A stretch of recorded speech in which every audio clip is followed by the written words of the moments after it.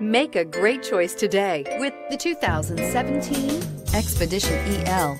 This is the largest SUV in the Ford lineup with seating capabilities of up to nine people. The Expedition EL is the elongated version of the standard Expedition and offers generous cabin space, aggressive looks, and outstanding towing capabilities. This vehicle has less than 130,000 miles. Here are some of this vehicle's great options. Four-wheel drive, turbocharged, tow hitch, heated mirrors, aluminum wheels, brake assist, privacy glass, fog lamps, luggage rack, tires, front all-terrain. Come take a test drive today.